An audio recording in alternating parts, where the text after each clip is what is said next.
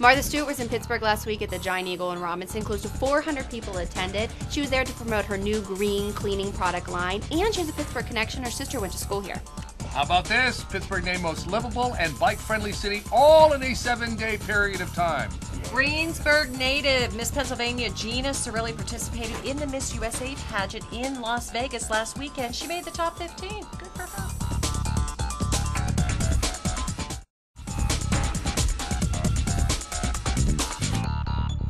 Big Ben played in a charity golf tournament last weekend, which was his first public appearance since, well, you know, there's no word when he can return to practice with his teammates, and rumor has it the ladies' rooms were closed.